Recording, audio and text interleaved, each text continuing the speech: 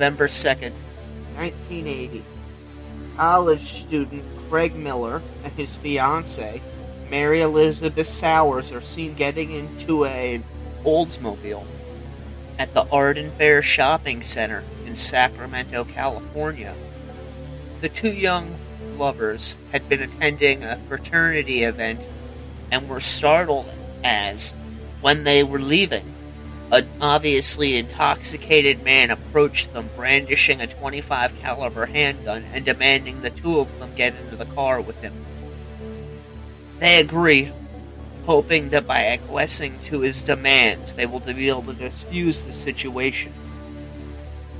One of the Craig's fraternity brothers notices them getting into the car and comes over to investigate, leaning inside to ask where they are going. It is then that a young female who was driving the car screams something at the young man before tearing out of the parking lot. He stands there bewildered by the scene before quickly writing down the license plate number. When Craig and Mary had not returned a short time later, Craig's fraternity brother became concerned and contacted the police, passing off the information he had written down.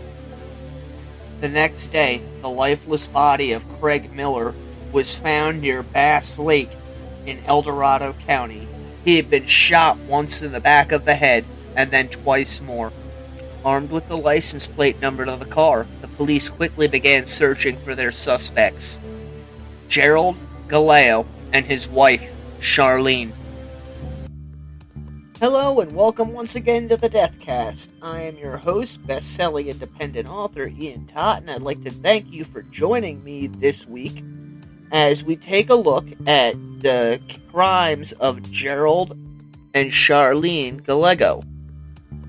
Before we dive into the case, as always, I have my normal plugs. If you'd like to follow me on social media, you can find me on Twitter at Author Totten. I am on Facebook and Instagram at Ian Totten Author. On Facebook, there is a Deathcast group associated with my author page. If you'd like to help support the production of this show, you can find me on both PayPal and Venmo at Ian Totten. That's for one time donations. If you'd like to become a patron of this show, you can find me on Patreon at Ian Totten Author. Uh, also, if you'd really like to help the show, you can go to your favorite uh, podcast app and leave a five star review. They really do help in the distribution of the show. So, if you want to leave a five star review, would be greatly appreciated. You can also find my works on Amazon and Kindle. Just search for Ian Totten in the search bar there. I'm also available at pretty much any bookstore you care to go to. Just ask them for books by Ian Totten. They'll pull them up and tell you whether they have them or need to order them. And pretty much any other uh, retail bookstore you can find online as well as on Audible, where I have one book now, which is The House of Silver Doors, and another one which is slated to come out within the next month or two. That's The Throwaway Girls of Olympia. One other thing before we dive in, I just want to do a quick shout out to uh, my buddy Kenny K and his wife Courtney. I know they're both big fans of the show, and I just want to say thank you guys for supporting what I do. Alright, now that all that's out of the way, get yourself something to drink, sit back, relax in a chair somewhere. I've got my coffee, I've got my cigarettes. Let's go into the crypt. Alright, so as you heard in the trailer, the disappearance and murder of 22 year old Craig Miller is what brought the Gallegos to the police's attention.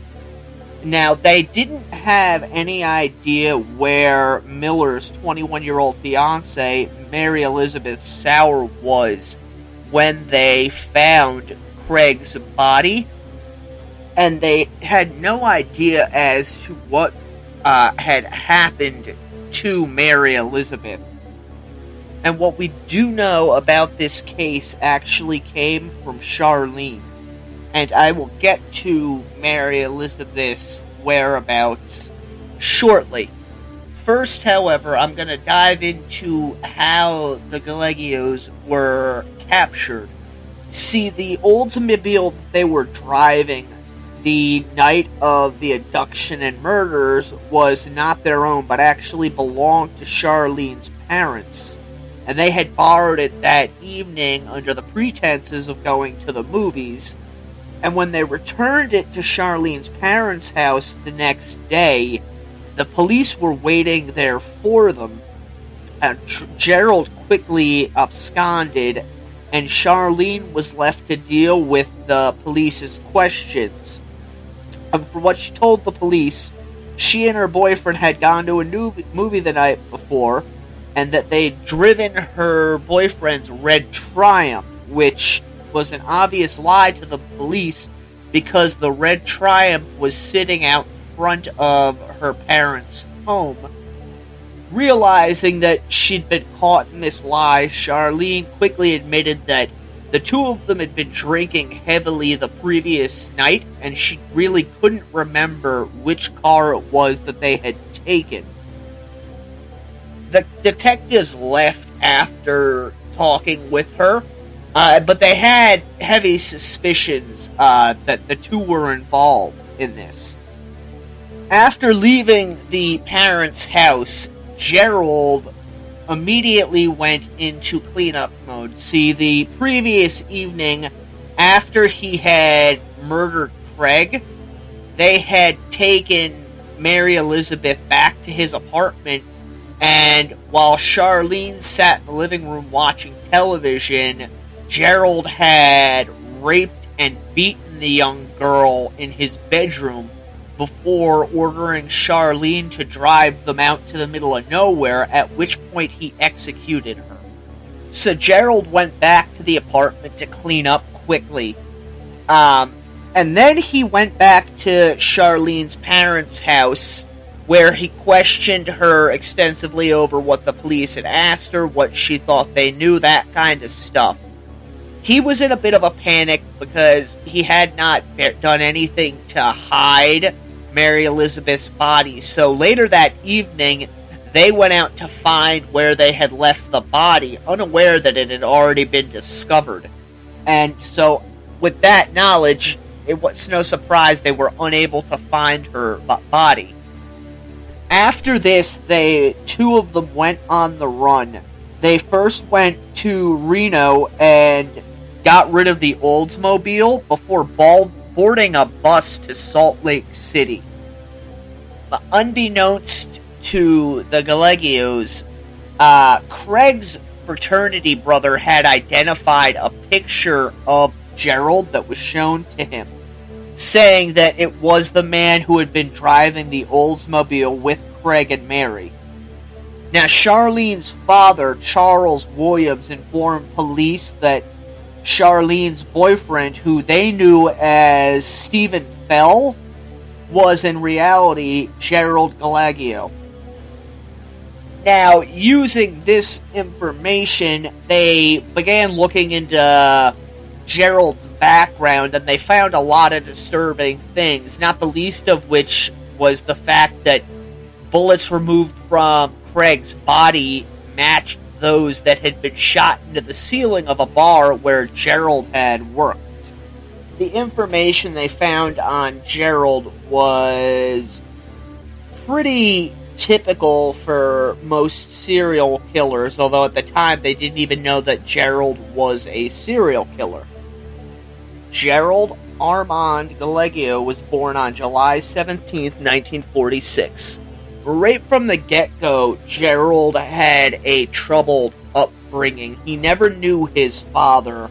At the time of his birth, the elder Gallego Gerald Arnold was serving a prison term in San Quentin, and upon being paroled, would abscond from the state, ending up in Mississippi where in 1954 he would be arrested and charged in the t- murders of two police officers, going on to be the first person executed in Mississippi's gas chamber. Now, Gerald's mother, who by some accounts was a sex worker, did not inform her son of his father's fate, instead, telling him that he had died in some kind of accident. Um, I bring up the fact that she was a sex worker as I've read a couple different accounts where it said that Gerald's hatred and anger towards women stemmed from seeing his mother perform sex acts with her various clientele in the house. And this is pretty common in a lot of different serial killers whose mothers are in that line of work. They see this stuff and it basically gives them a diffused view on women in that they are only exist for one purpose and are basically to be treated as you know, slaves and punching bags. Gerald's delinquency started at an early age.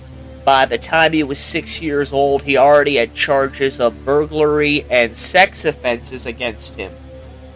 When he was 12 years old, he was placed on probation for burglary, later being charged with committing lewd and lascivious acts with a six year old girl the story there apparently is that he raped his six year old neighbor. In 1959, Gerald was placed into a boys' school. In July of 1961, he was paroled, and less than a year after that, he and his half brother David were arrested for armed robbery and sentenced to the Preston School of Industry in Ione, California Gerald ended up escaping from the boys' school, although he did turn himself in and was paroled in 1963. He was known as someone with a pretty, you know, bad temper even as a child, and as he moved into early adolescence, his temper became worse. Although contemporaries did say that he could be quite charming and was seen as something of a ladies' man, which can be seen when he was 16. He ended up marrying his first wife, who was a 21 year old woman. In April of 64, he and his first wife gave birth to their first child, Krista.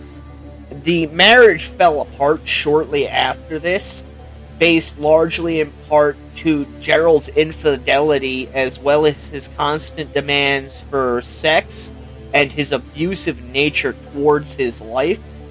Somehow he was able to gain custody of his daughter, who he sent to live with his mother. There are some reports that Gerald sexually abused this child, and this too led to the divorce although I was unable to find anything that was it confirmed this. He wasn't single long, however. Uh, on July 12th of 1966, he married a 24-year-old waitress from West Sacramento. And 26 days after they married, the marriage fell apart, with his wife claiming that Gerald physically abused her on a near constant basis including chasing her around brandishing large kitchen knives. In 1967, he got married for the third time, this time to a 19 year old laundry worker who ended up becoming pregnant before their marriage dissolved in less than a month. Again, Gerald's violent mood swings were cited as the reason for this. 1969 was a pretty tumultuous year for Gerald. He ended up getting married in March of that year in Reno to a 19 year old. And she at too ended up pregnant before the marriage dissolved in under a month. This wife's family has stated that Gerald had a Dr. Jekyll, Mr. Hyde personality. Um, on October 25th of 1969, he and his half brother David were arrested again for armed robbery. They had targeted a motel in Vacaville, California, which, if memory serves me right, is in Northern California. After being arrested, the two of them and another inmate ended up escaping from the county jail, only to be recaptured four days later. Gerald was sentenced to five years in prison for his role in the robbery. He was paroled at some point in the early 1970s.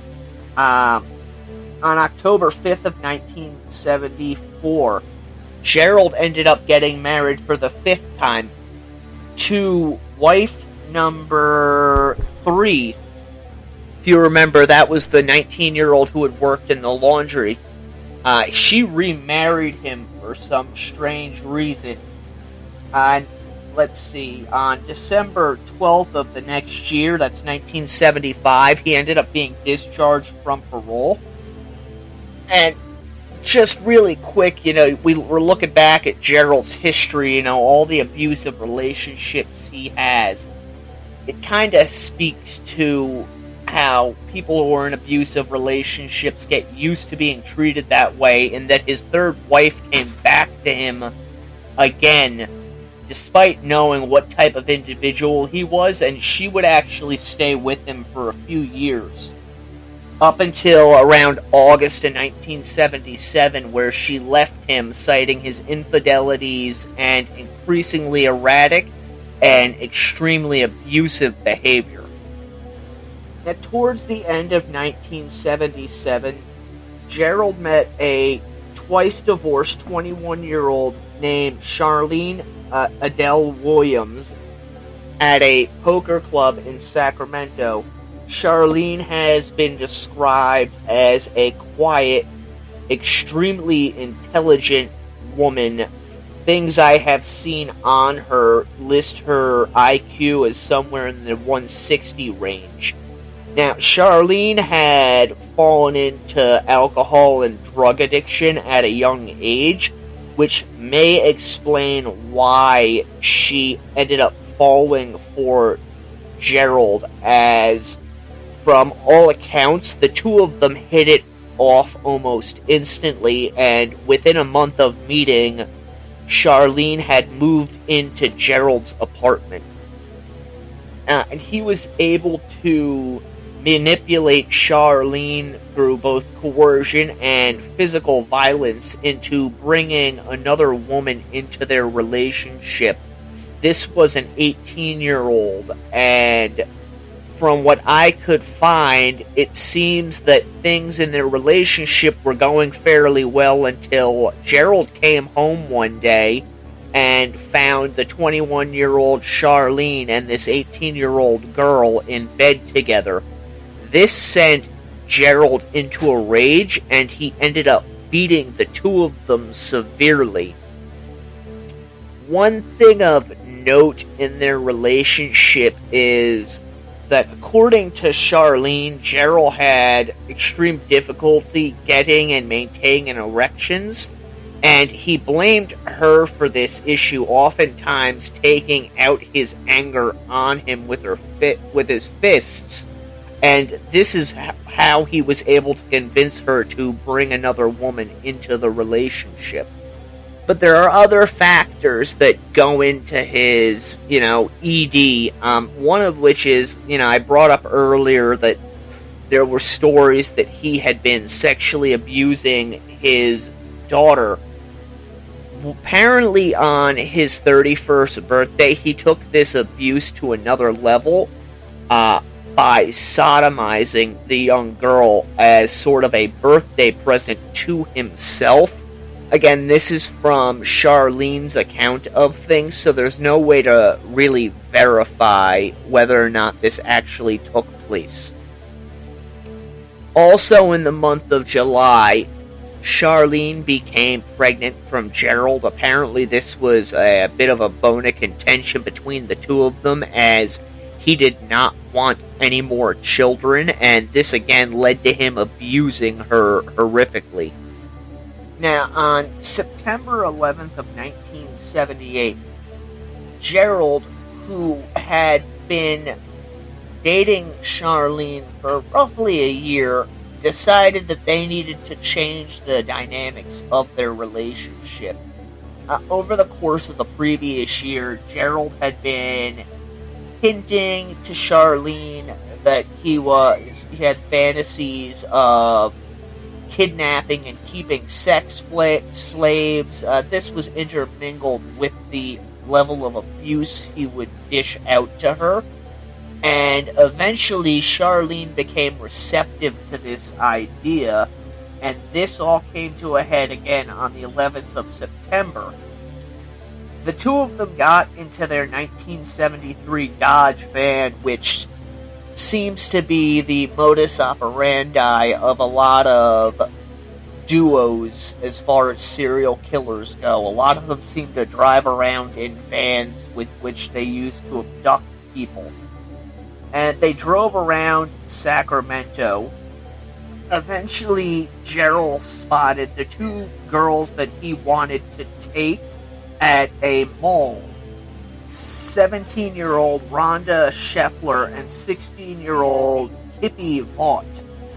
Gerald had Charlene get out of the van and approach the two girls under the pretense of joining her to smoke some weed, which apparently the girls were eager to do.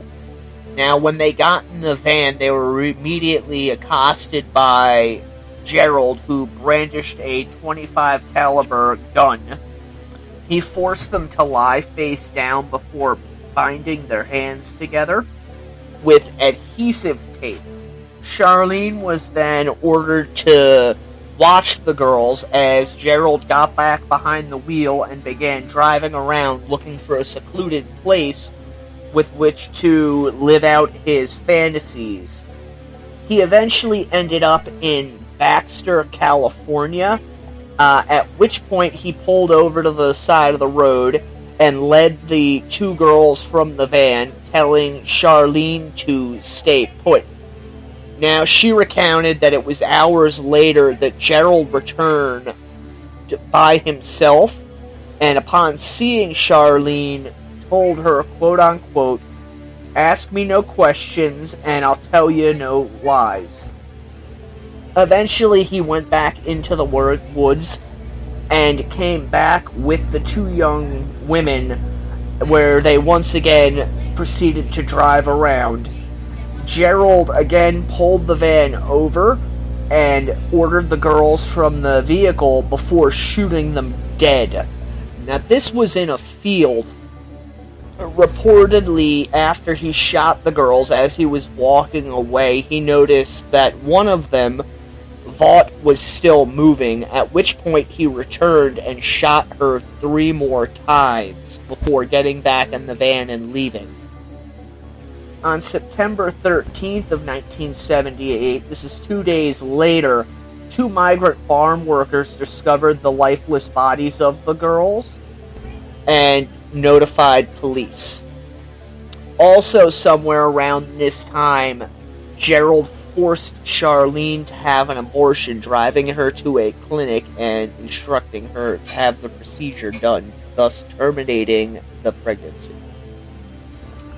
Now, a few weeks later, on the 27th of September, Gerald's daughter, Krista, filed charges of incest, sodomy, oral copulation, and unlawful intercourse against him. Uh, I couldn't find anything as to whether or not he was, you know, held in custody or on bail or anything. But I do know that just three days after that, he and Charlene wed before fleeing the state, first going into Nevada before eventually settling in Houston, Texas, where Gerald took on his alias of Stephen Field. This was sometime around December of 1978. Now, they eventually ended up in Reno, Nevada, where on June 24th of 1979, Gerald decided once again that he needed to find some new slaves. So they drove to the Washoe County Fair, where Gerald instructed Charlene to go out and find him another victim. She walked around the fair for a while before coming upon 14 year old Brenda Lynn Judd and 13 year old Sandra Kaye Colley. The line that she fed these two particular girls was that she would pay them money if they would go and distribute handbills onto the windshield of the cars in the parking lot. The two young girls naturally agreed and followed her back to the van where Gerald was late waiting. This time he had a 44 caliber pistol on him and he forced the two girls into the back of the van where he bound their wrists and ankles before instructing Charlene to drive. Now, while they drove, Gerald sexually abused and assaulted the young girls before instructing Charlene to drive out into the high desert, at which point he forced the girls one at a time out of the van, taking with him a hammer and a shovel as they marched out into the desert. He beat the girls to death with the hammer before throwing their bodies into a deep hole and the girls' bodies would not be discovered until November of 1999. Sadly for the girls' families who reported their disappearance to the police, initially the police, as they often did during this period of time in America, thought the girls were runaways and did little, if nothing at all, to help look for them. By September of that year, the two of them had moved back to Sacramento under the alias of Mr. and Mrs. Feel, where Gerald eventually got a job as a bartender. And it's known that around this time he began having an affair with a woman by the name of Patty, who eventually became pregnant with his child. On the morning of April 24th, 1980, Gerald woke Charlene up, stating, I want a girl, get up. The two of them drove around for a while before spotting 17 year old Stacy Ann Redican and Karen Chipman Twiggs coming out of a bookstore. Gerald pulled over and sent Charlene out to talk with the two of them. And Charlene told them both that she had some pot and if they wanted to come and hang out and get high with her, they were more than welcome, to which the two girls readily agreed. Gerald greeted them in the back of the van, this time brandishing a 357 Magnum, and he ordered Charlene to begin driving, while at the same time making the girls undress before sexually abusing them. And you can see that Gerald's Mania is beginning to unravel a little here. With the two prior sets of killings, he had instructed uh, the girls to lie face down before binding them. This time, he doesn't even take the step of getting them to lie down, nor does he bind them. He just immediately get undressed before he begins raping them. Also, be noted that he didn't wait until nightfall to go out on the prowl. You know, the urge came on him first thing in the morning, it's time to go. As with the other killings, he had Charlene drive out to a secluded area in Nevada. This time, however, it was not the high desert but woods that he brought them to, and he forced the girls one at a time out of the van, carrying again a hammer and a shovel as he took them out and did away with them. When he was done, however, he forced Charlene out of the van and made her look at the graves, to which she later stated that she believed one of the girls was still moving. Uh, something that Gerald claimed was not true, that both girls were well and dead. And I include that little bit of information as there are some accounts of this particular set of murders that are out there that state that the two girls had in fact been buried alive by Gerald. Uh, but according to Charlene's testimony, this was not, in fact, the case. The following month, in May, Charlene became pregnant again, which once more enraged Gerald, who beat her severely. The next month, on the 1st of June, they married for a second time, this time under the aliases of Mr. and Mrs. Stephen Robert Field. Six days later, on June 7th, they were traveling down the highway when they spotted a lone woman hitchhiking. This was 21 year old Linda Aguilera, who was four months pregnant at the time. They pulled over, offering the young woman a ride, which she readily accepted. Once they were on the road again, however, Gerald pulled out his 357, which he shoved into Linda's face. He had Charlene drive to a secluded area, at which point he repeatedly raped Linda before smashing her over the head with a rock before strangling her with lengths of rope and burying her body in a shallow grave in the sand. A few weeks later, on June 22nd, the German tourists who were walking down a beach discovered Linda's badly decomposing body when an autopsy was done, it was found that she had not died, in fact, from blunt force trauma, nor from the strangulation. Instead, Linda had apparently come to after her captor had left and panicked, struggling against the sand that had been placed over her, and she eventually suffocated beneath the sand. Now, July 16, 1980 was the day before Gerald's 34th birthday, and the two of them spent the day drinking at the Sail In Bar in West Sacramento. Witnesses stated that Gerald was loud and belligerent that evening, and that the other customers were glad when the couple left. Now, in the early morning hours of the 17th, which is actually Gerald's birthday, 34 year old Virginia Mochel came out of the bar and was forced into the van by Gerald, who again was brandishing his 357 Magnum. And this one is a little different, obviously, in that they had not gone trolling for victims that evening but also because the victim was known to both of them. And it shows how Gerald's psychosis was really spiraling at this point, in that he would willingly go after someone who he physically knew and could ostensibly be linked back to him. As the Sail In bar was one of Gerald's favorite watering holes again breaking his established pattern. Rather than driving out to a secluded area, Gerald drove back to their home, where Charlene went inside to watch television as he raped her outside in the van.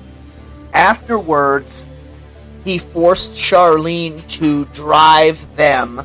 And she drove to Clarksburg, now, apparently, Virginia begged to be put out of her misery, and Gerald obliged her by strangling her while Charlene drove, and they eventually dumped her body in a pond.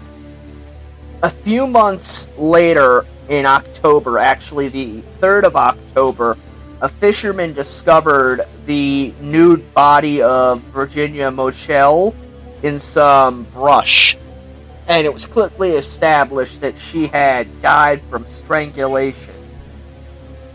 Now, interspersed over these few months, uh, Gerald and Charlene had broken up in September when Gerald's temper had become unbearable and she eventually went to live with her parents. Gerald left town for a short period of time before returning to Sacramento. And by November, he had convinced Charlene to see him again. And this is where we came into the case in the beginning of the show, which was November 1st slash November 2nd. They borrowed Charlene's parents' car under the guise of going to see a movie. Now, Charlene would later say that Gerald had told her, I've got that feeling again, and she immediately knew what it was that he was talking about they ended up going to a bar where the two of them proceeded to get heavily intoxicated. And again, Gerald proclaimed his desire to procure another slave. And eventually, Charlene got tired of looking, and she herself said that she was prepared to call it a night when Gerald directed her to pull into the Arden Fair, at which point he was able to procure Craig Miller and Mary Elizabeth Sowers. I've already gone over the murders and how they found the bodies. What happened next, after they had left Sacramento, is that they got rid of the car, ended up going to Salt Lake City, and Charlene called her parents asking for money, which they wired to her. They eventually ended up moving to Denver before winding up in Omaha, Nebraska, where she called her parents again. Now, at this point, it was in the news that the police were looking for Gerald, and Charlene's parents, who were reluctant to send the money to their daughter, knowing that she was with a wanted man, agreed to. What Charlene and Gerald didn't know, however, was that her parents also contacted the FBI. And when Cheryl and Jar- Charlene showed up at the Western Union to pick up the wire transfer, the police were waiting to arrest them. Once in custody, uh, Cheryl, through her attorneys, decided to strike a deal with the prosecutors wherein she would plead guilty to participating in the murders of Craig Miller and Mary Beth Sowers in exchange for her testifying against Gerald.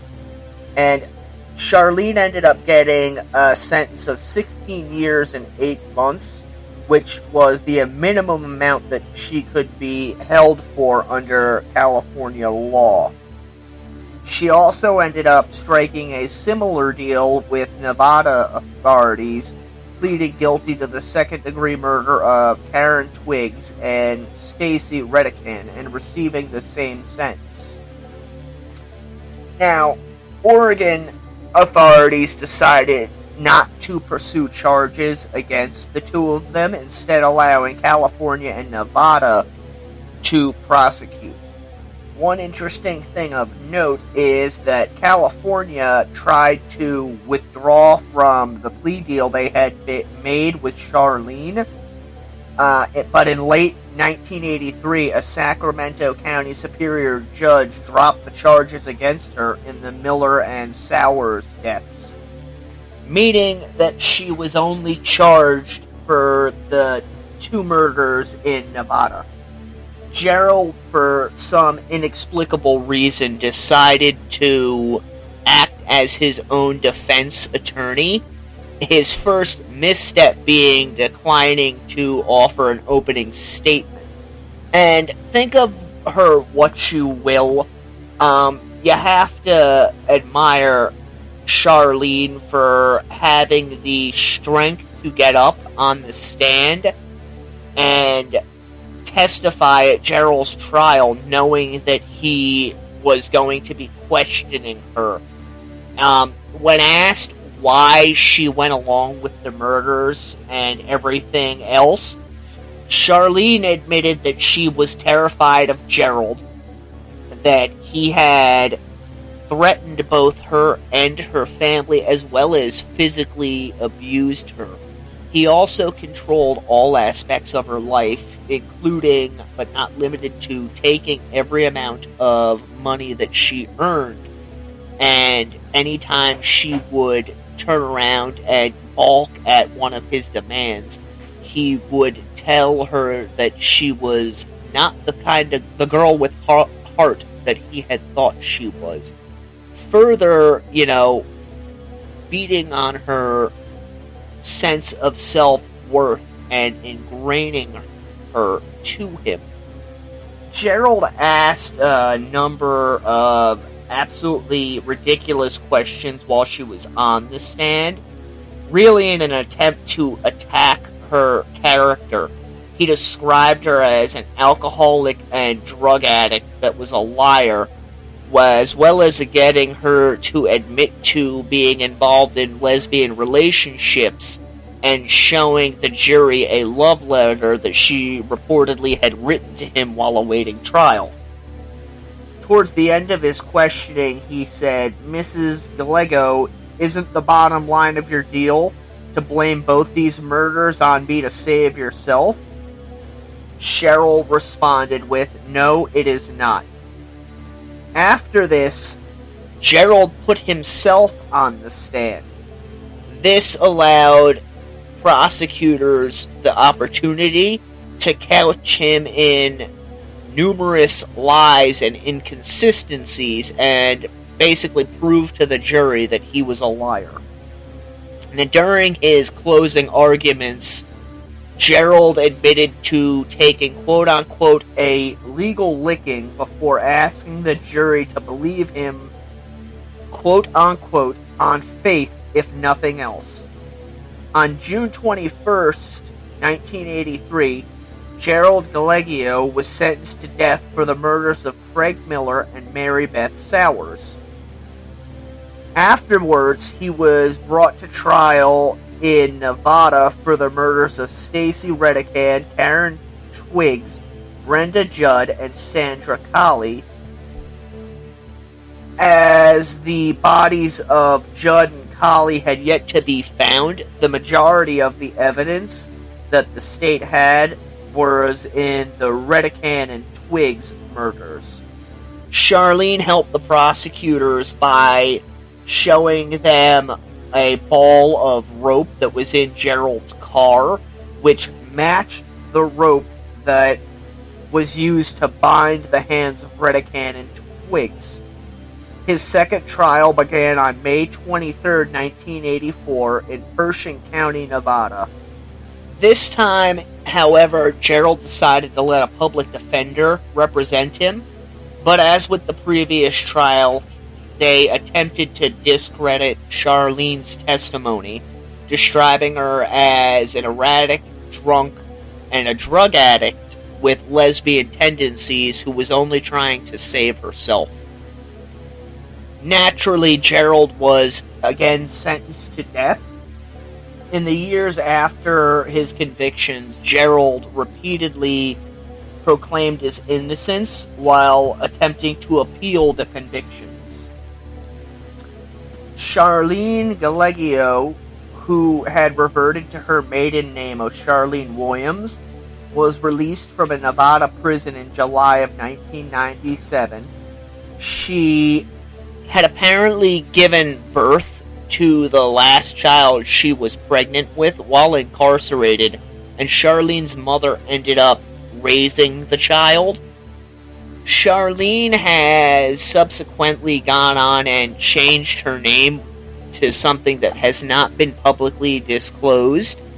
And according to an article in the Sacramento Bee, has dedicated her life to charity work since being released, saying that she is continuously haunted by the things that she saw and was a party to, and that not a day goes by that she is not reminded and tormented by the memories of the murders. Gerald Gallego was moved from Ely State Prison in Nevada to a medical center in March of 2002 He died on July 18, 2002, at the age of 56 from rectal cancer, which has spread to his liver and lungs. According to the medical director, Gallego was a very quiet individual.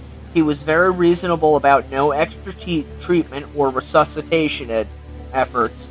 He made no final statements and had no visitors. Gallego was heavily sedated when he died. So that's the story of Gerald and Charlene Gallego, known as the sex slave killers. A couple small things I am left to wonder about is what Charlene's life would have been like had she not gotten involved with drugs and alcohol at a young age uh, because she was a very smart woman, and you see pictures of her. She was not an unattractive woman. Uh, it's pretty obvious that Gerald would eventually have gone on a murderous rampage just based on his character makeup and the crimes he had committed prior to meeting Charlene. But I really do wonder what could have gone differently in her life had she never gotten involved in the things she did. Just food for thought, I suppose. Well, that is it for the Deathcast this week. Uh, I hope you enjoyed it. Um, if you want to look further into the case of the Gallegos, there are numerous books out there written on the two of them, as well as articles that can be found online.